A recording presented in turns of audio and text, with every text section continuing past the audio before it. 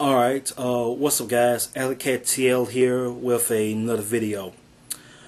Um, I wasn't gonna do I wasn't going to do a video about this, but I might as well anyway.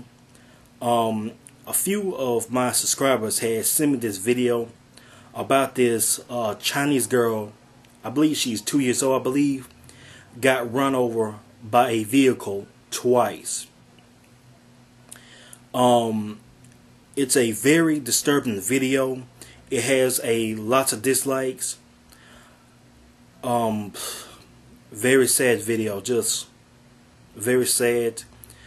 Make things even a lot more worser.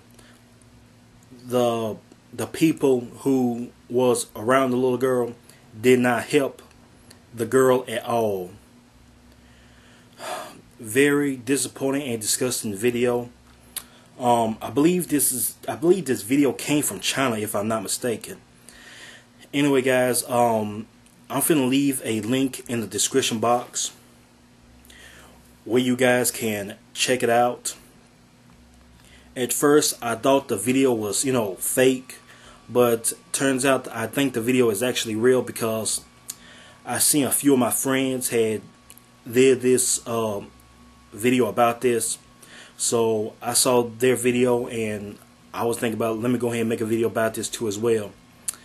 And I will also post a link um, to two of my friends' videos down in the description box also. Where I got this uh, information from. Anyway, uh, to the little girl who passed away, um, rest in peace. Um, I wish I knew the little girl name was, but um, I don't know. Um, I don't know.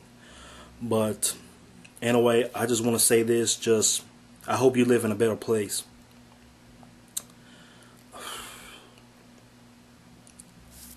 Anyway, guys, uh, check out the video. Come back. Tell me what you guys think about this. Tell me what your thoughts are. Tell me um, your opinions. Also, don't forget to make uh, video responses.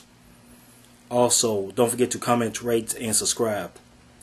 Anyway, guys, um, I'm going to have to end this video. This is a very sad, depressing uh, vid I just saw. So I'm going to have to end this. And it's just very disgusting that nobody seems to help this little girl at all.